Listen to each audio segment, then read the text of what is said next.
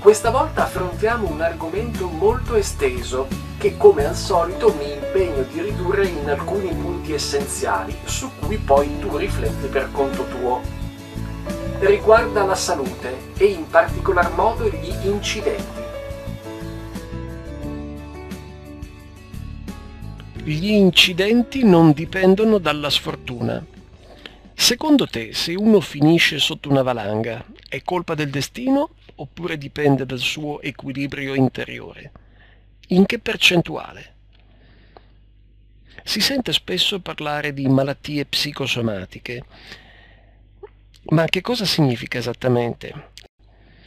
La psicosomatica dimostra che la mente determina il livello di salute del corpo. Molti lo sanno, ma questo concetto non è ancora abbastanza diffuso quello che si pensa determina lo stato di salute. Almeno il 70% delle malattie sono psicosomatiche. Ad esempio, malattie da raffreddamento e tristezza sono vicine, sono correlate tra loro. Pare che le tensioni mentali predispongano alle infezioni. Chi non ha un buon equilibrio mentale ha una salute precaria. Questo in sostanza è il succo della psicosomatica, ma il discorso non finisce qui, anzi inizia proprio qui. L'aspetto più importante e su cui ti invito a riflettere è che chi non ha un buon equilibrio mentale si comporta in modo poco sano. Direi che la cosa è evidente. Una persona che non è soddisfatta può scivolare in un vizio, lo si dice da sempre, lo si vede purtroppo in una infinità di casi. Chi non ha un buon equilibrio mentale si lascia andare, trascura l'igiene, corre pericoli e frequenta anche persone che non sono equilibrate, che peggiorano il suo stato d'animo. A poco a poco chi non ha un buon equilibrio mentale corre rischi sempre maggiori. Tra i pericoli a cui ci si espone ci sono la droga, l'alcol, la delinquenza, il vandalismo. Alla base di ogni problema ci sono delle tensioni mentali, droga, delinquenza, vandalismo non sono prodotti da batteri, non sono la conseguenza di infezioni. Poca autostima sviluppa comportamenti poco sani che degenerano in malattie. Come tu sai bene, chi non si stima cerca rifugio nell'alcol o nella droga o si crea un ruolo di forte diventando un bullo. Invece chi si stima basta a se stesso. Chi non si stima, chi non ha progetti, rischia di sentire il bisogno di rifugiarsi in alcol e droga. Uno che sa chi è, uno che ha progetti, uno che sa di avere una missione nella vita, si dedica alla sua missione, non si consuma nel vizio e, e non ci pensa nemmeno. Le circostanze che producono malattie e incidenti dipendono dalla mente il fatto di ubriacarsi, di drogarsi, di fare il bullo, non dipendono da alcol, droga e bande giovanili, dipendono dalla poca autostima, dipendono dal fatto che non si sa chi si è. Causare incidenti, essere litigiosi, non è un fatto privato, è un danno agli altri. Certo, uno che non si stima, uno che non ha un progetto, uno che se ne frega di tutto, crea una serie di danni per gli altri. Spetta alle persone sane risolvere il problema, nel loro stesso interesse. È il loro diritto difendersi e proteggere il mondo sano. Il discorso si allarga, dalla medicina si passa alla sociologia. La biologia riguarda corpo e batteri, la psicologia riguarda la mente e la sociologia studia anche i comportamenti sociali che, tra l'altro, fanno ammalare.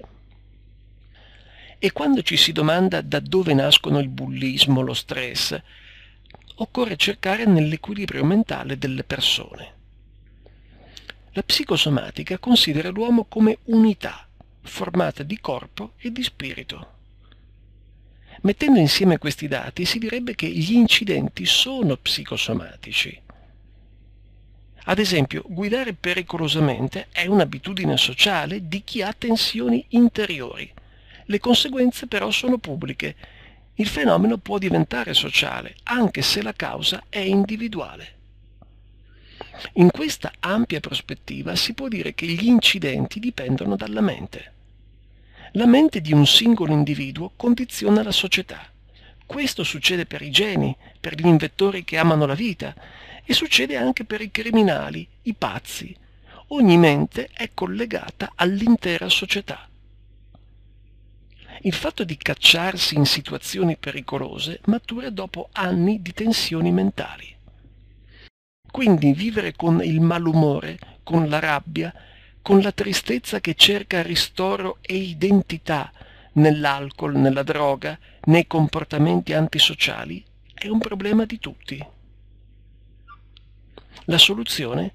Migliora il tuo equilibrio mentale per due ottimi motivi. Motivo numero uno.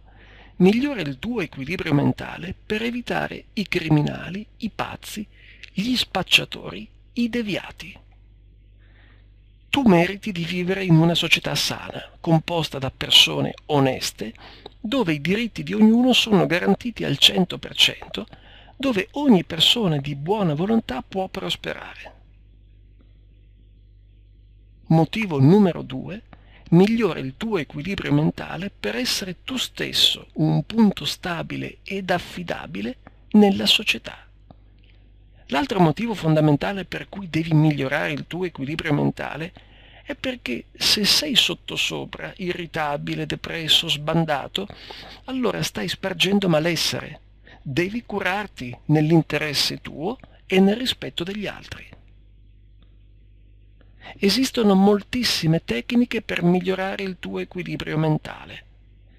Ho una buona notizia per te. Esistono tante scuole, tanti insegnamenti, tante correnti di pensiero che possono immediatamente innalzare la qualità del tuo equilibrio mentale. Usale. Anche se ci sono epidemie e abitudini sociali pericolose, tu puoi essere sano, è tuo diritto. Altro punto importantissimo da prendere in considerazione. In un mondo ancora perturbato da comportamenti dannosi alla vita, tu hai diritto comunque a una vita sana. È tuo diritto essere sano nonostante la confusione e la trascuratezza generali. Quindi il mio vivissimo consiglio è di sistemare al più presto il tuo equilibrio mentale anche se sei una persona praticamente normale, a posto, ti consiglio di essere al meglio di te. Assumi il controllo della tua vita. Gli incidenti succedono soltanto quando si perde il controllo e siccome la mente influenza la salute e le decisioni, la cosa migliore che puoi fare è mettere in equilibrio la tua mente. Scegli uno stile sano, ottimista e socialmente utile nel tuo interesse, nell'interesse di tutti, è meglio che tu sia una persona sana, felice, motivata, una persona che sa di valere e che esprime il proprio valore nelle sue azioni. Una mente sana deve accompagnarsi ad un corpo sano, come dicevano gli antichi. Una buona condizione mentale, un atteggiamento sereno, la voglia di creare le soluzioni che servono, è quello che ti serve per vivere bene e per diffondere il bene nel mondo. La medicina si occupa della cura del corpo, tu occupati della prevenzione delle tue malattie. Vivi attivamente con l'intenzione di manifestare il tuo valore. Crea un mondo bello da subito, elimina il concetto di fortuna dalla tua vita e scegli di essere nel migliore dei modi. Questo ti mette al riparo anche dalle cause degli incidenti. E con questo per il momento abbiamo finito. Non mi resta che salutarti. Ciao, alla prossima!